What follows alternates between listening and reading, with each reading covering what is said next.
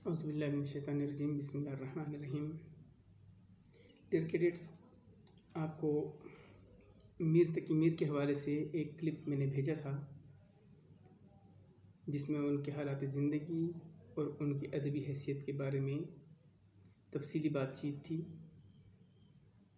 लेकिन अपनी किताब का भी ये सफ़ा हम पढ़ लेते हैं, जो कि सफ़ा नंबर एक सौ आठ वन सिक्स ज़ीरो एक सौ साठ पर उनका तारफ़ छपा हुआ है। सैयद मीर तकी मीर, इनका पूरा नाम था। सबसे पहला जो लफ्ज़ यहाँ पर दिया हुआ है पैदाइश के हवाले से, सत्रह सौ इक्कीस। तो अगर आपको याद हो, आपकी नाइन्थ क्लास में भी मीर तकी मीर का तारफ़ दिया गया था, उनकी गज़लियात शामिल थीं। वहाँ पर इनका सन पैदाइश सत्रह सौ चौबीस दर्ज था। मुख्तलिफ़ किताबों में मुख्तलिफ़ इंदराजात होते रहते हैं। आपने एम सी क्यूज़ के हवाले से वही कुछ लिखना है जो आपकी किताब में, यानी सत्रह सौ इक्कीस दर्ज है। ये बात जहन में रहे। आगरा में पैदा हुए थे। आग, आगरा को अकबर आबाद भी कहते हैं क्योंकि इस शहर को मुग़ल आज़म जलालुद्दीन मोहम्मद अकबर ने आबाद किया था।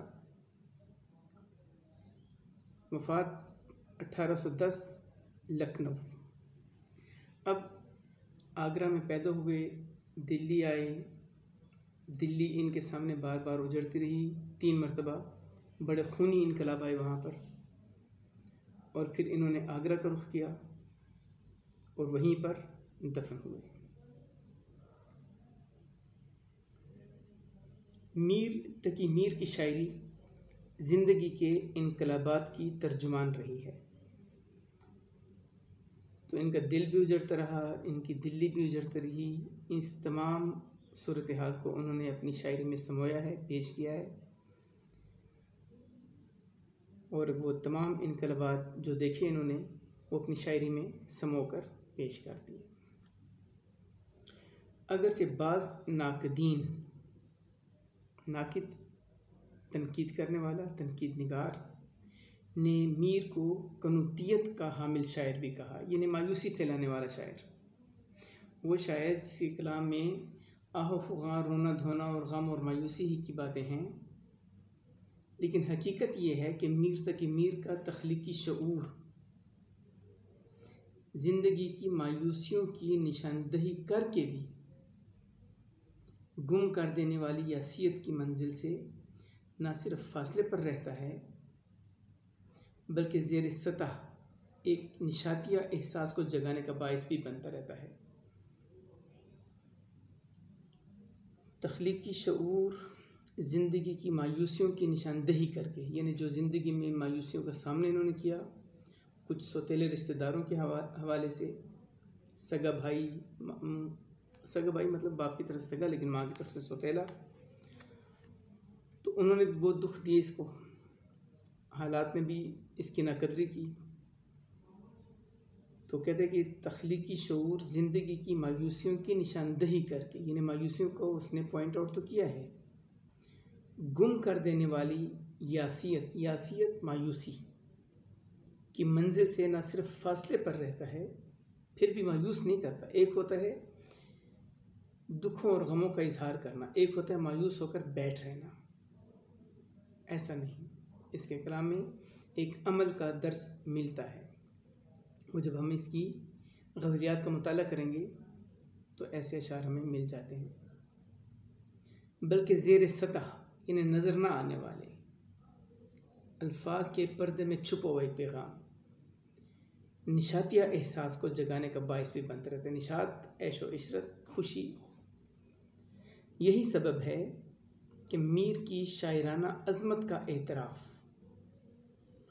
न सिर्फ़ उनके मुआसरीन ने किया है।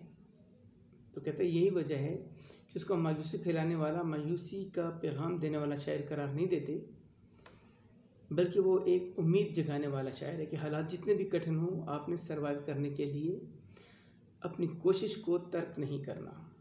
निशात खुशी, मुआसर, हम असर। बल्कि अब तक के तमाम मुस्तनद नाकदीन, जो कि काबिल कदर या काबिल तवज्जो तनकीद निगार हैं। और गज़ल के मोतबर शरा, काबिल एतबार शरा, जिन पर गज़ल को नाज है। मीर के कलाम की हमगीरियत, जामयत, कंप्रहेंसिवनेस, निश्तरियत काट कर रख देने वाला, यानी ऐसे अल्फाज कहता है कि जिस पर वो हालात गुजरे होते हैं, उनको महसूस होता है तो कहते हैं कि शायद ये मेरे ही हालात इसने बयान किए हैं। उसका एक मतलब फिर अपना गम ताज़ा करके जिगर कट जाता है। और इफादियत को खुले दिल से तस्लीम, इफादियत फ़ायदा, मुफीद होना। गालिब जैसे यह गाना रोज़गार शायर ने बरमला ये कहा रेख्ता के तुम ही उस्ताद नहीं हो गालिब। रेख्ता के तुम ही उस्ताद नहीं हो, गालिब। रेख्ता उर्दू ज़ुबान को भी कहते हैं, उर्दू शायरी को भी कहते हैं, गज़ल को भी कहते हैं। तो गालिब एक वाहिद नाम उर्दू गज़ल का अपने हवाले से। कहते हैं, अगले ज़माने में कोई मीर भी था। तो ए गालिब अपने आप पर इतना ना इतराओ। ज़रा मुताल करो, मालूम होगा कि तुमसे पहले एक मीर नामी शायर गुजरा है। देखो कि उसने क्या कारनामे अंजाम दिए हैं गज़ल के मैदान में। मीर को खुदाए सुखन के नाम से भी याद किया जाता है। सुखन भी शायरी को कहते हैं, बातचीत को, गुफ्तगु को भी कहते हैं, लेकिन शायरी को। और ये एमसीक्यू में पूछा जाता है कि खुदाए सुखन किस शायर को कहा जाता है? जवाब, मीर तकी मीर। मीर का उसलूब बयान सादा और सलीस होने के बावजूद नुदरत और इनफरादियत का हामिल है। इन सीधे सादे अल्फाज में अपना पैगाम पहुँचाया है। लेकिन ऐसे सीधे सादे अल्फाज कि अगर उनमें कोशिश की जाए तो वैसा कलाम कहना एक पहाड़ लगे। इसी को सहल मुमतना भी कहा जाता है। उस पर फिर फिर इंशाल्लाह हम बयान बदी के हवाले से जब बात करेंगे तो तफसील से इसकी तारीफ़ बयान की जाएगी। नुदरत नयापन, ताजगी। इनफरादियत दूसरों से मुनफरद होना दूसरों से अलग होना यूनिकनेस उनके कलाम में रोज़मर्रा और मुहावरे का अल्तज़ाम बखूबी मौजूद है मीर तकमीर ने जो शायरी की है इसमें उन्होंने रोज़मर्रा और मुहावरे को बहुत उम्दा तरीके पर इस्तेमाल किया है और ख़ुद एक सनत का दर्जा हासिल कर लिया उनके अहद को उर्दू शायरी के ज़री अहद से ताबीर किया जाता है। ताबीर किया जाता है, करार दिया जाता है। ज़री अहद सुनहरी दौर। उनके ज़माने में इनके अलावा भी बड़े अच्छे शायर थे, मसलन मिर्ज़ा रफ़ी सौदा वग़ैरह। तो इसलिए मीर तकी मीर के ज़माने को उर्दू शायरी का ज़री दौर या ज़री अहद कहा जाता है। ये भी एमसीक्यू में पूछा जा सकता है आपसे ये शार्ट क्वेश्चन में।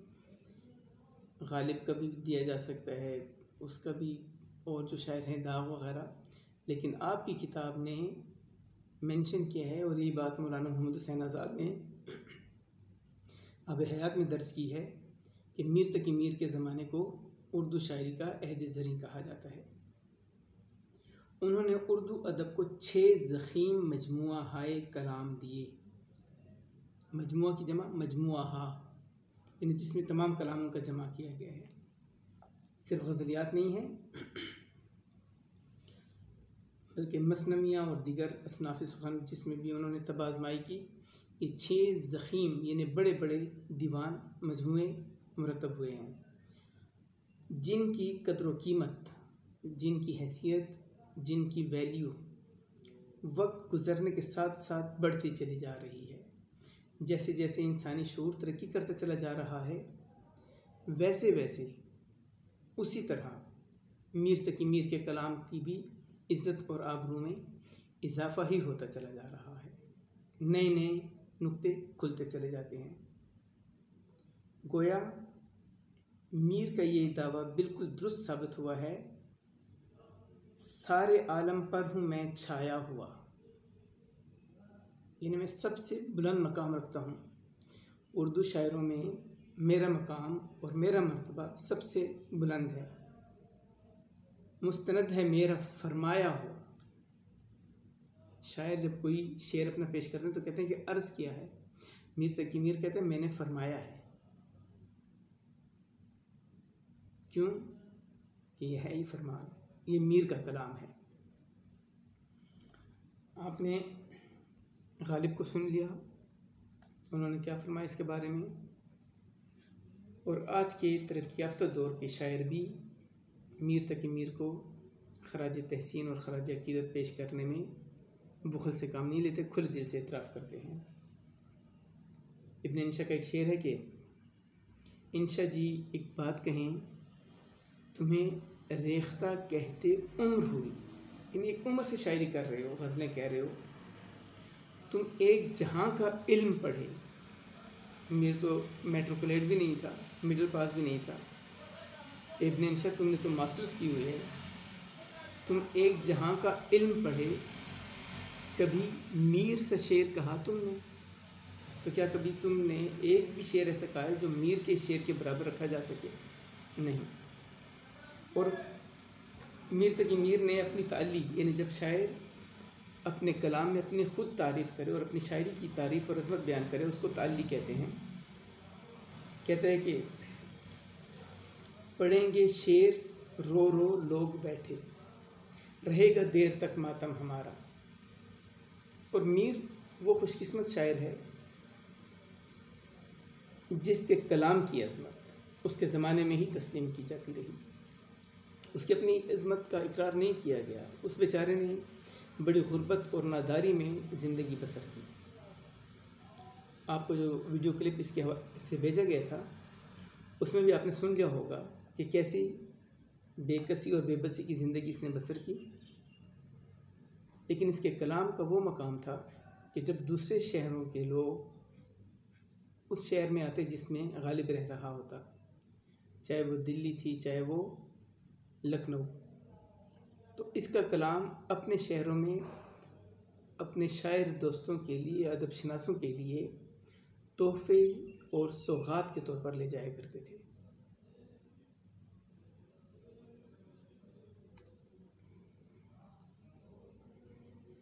लेकिन जिन हालात में इसने शायरी की,